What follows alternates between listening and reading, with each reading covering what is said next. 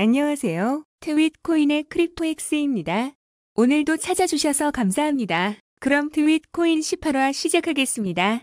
첫 번째 소식은 이더리움 2.0과 트론 4.0에 대한 소식입니다. 이더마인 채굴풀 운영사 비트플라이가 29일 트위터를 통해 이더리움 2.0의 새 testnet 알토나가 프리즘, 테쿠, 라이트하우스, 님버스의 클라이언트에서 가동되기 시작했다고 29일 밝혔습니다.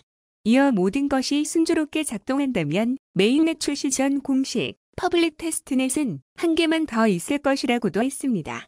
알토나 testnet은 end user가 아닌 개발자 중심의 testnet이며 클라이언트 팀이 production 환경에서 버전 0.12 소프트웨어를 검사하는 데 사용할 수 있다고 밝혔습니다.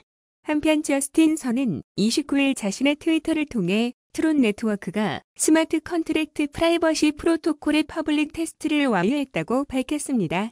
이와 관련해 그는 해당 테스트와 동시에 트론 virtual machine에서 영지식 증명 기술 기반 명령을 구현하는 데 성공했다며 오는 7월 7일 트론의 smart contract 프라이버시 프로토콜은 트론 4.0의 일부로 정식 출시될 것이라고 말했습니다.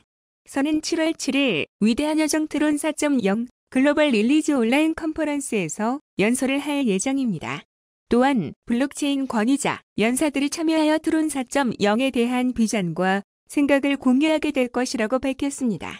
아직 진행 중인 개발 사항으로는 PBFT 가속 블록의 고착화에 대한 기능 최적화, 영지식 증명에 대한 smart contract 지원 테스트, TVM에 추가된 새로운 시스템 로그 개발 등이 있다고도 했습니다.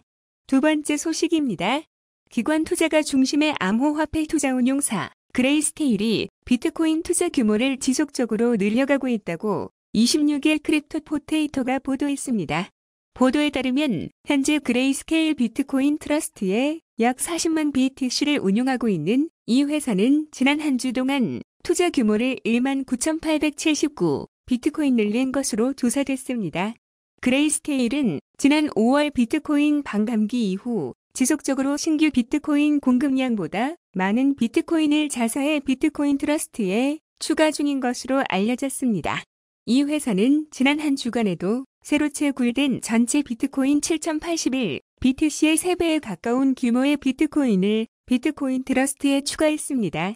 그레이스케일은 또한 비트코인뿐 아니라 이더리움 투자 규모 역시 최근 크게 늘리고 있는데 크립토 포테이토에 따르면 올해 들어 채굴된 이더리움 중 거의 절반을 그레이스케일 이더리움 트러스트가 매입한 것으로 나타났습니다.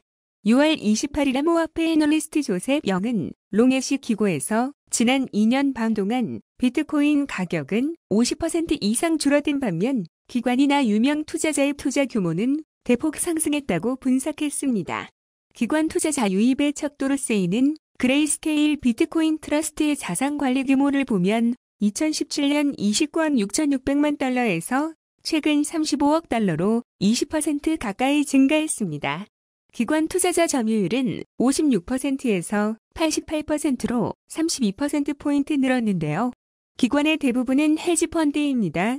이에 대해 글로벌 신용평가사 와이스 레이팅스는 대형 기관이 잇따라 비트코인 시장에 들어오고 있다며 이는 더 많은 기관의 진입을 유도할 수 있다고 관측했습니다. 예를 들어 전설적인 트레이더이자 포브스가 선정한 400명의 억만장자 중 한 명인 폴 튜더 존스는 최근 CNBC에 자신의 자산 중 1에서 2%를 비트코인에 투자하고 있다고 말했는데요.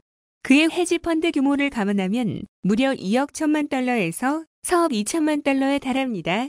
그리고 연방준비제도가 불과 14주 만에 약 3조 달러를 발행함에 따라 이러한 돈의 물결은 앞으로 더욱 강해질 전망입니다. 그럼 오늘의 트윗 코인은 여기까지입니다. 시청해주셔서 감사합니다. 지금까지 트윗 코인의 크립토엑스였습니다. 좋아요와 추천, 구독은 방송에 큰 힘이 됩니다. 꼭 눌러주세요. 그럼 다음 주에 다시 만나요.